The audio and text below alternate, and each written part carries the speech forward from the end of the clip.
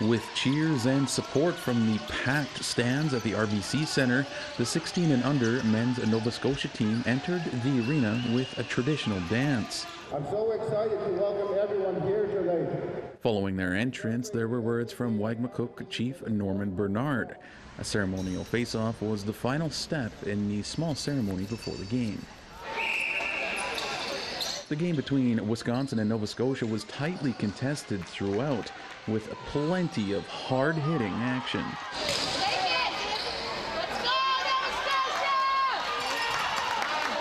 Goals from Nova Scotia had them out to an early 4 0 lead. But Team Wisconsin was not going down without a fight.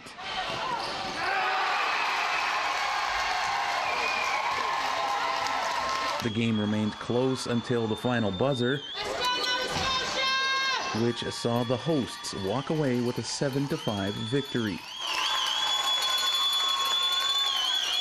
For Nova Scotia's Brody Boyd, to play in front of the home fans and family was an experience like no other. That was that was crazy. The, we never play in this rink, and the other ones don't got stands, so this was nice to play in. Uh, yeah, just play for our play for our family. Despite the loss, Team Wisconsin players said the atmosphere gave them energy throughout. The cheering is almost like just like another like boost to yourself. Like you know, you make a big play or the team makes a big play, yeah, you know how to do something. You know, it's just like the crowd is nothing I've ever experienced before. Usually when we play like field lacrosse, there's not usually that many people, but I came out here, I was like, holy, they're like all these all these people just came here to see us play. So I'm, I, I was amazed how many people popped, uh, came out. So it was nice. Boyd has a passion for lacrosse that includes playing for others. I play for family, I play for my teammates, I play for everyone else, and it's just fun. It's, yeah, I just play for the ones who can't.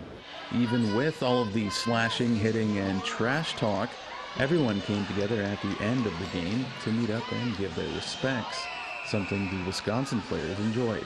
I got hit over there, I felt my back crack when I hit the wall, and then there was a lot of trash talk between us, and then um, I thought that we wasn't gonna get along after the game, but after the game we all shook up, and then like we was all just, you know, like glad to make it out. You know, it was actually fun. I love how, you know, we all come together, and after the game, we just, you know, after all the intense, you know, like just shoving and stuff, and you know, pushing is just we all like indigenous people at the end of the day, so we can just all come together and really appreciate the sport. Daryl Stranger, APTN National News, Dartmouth.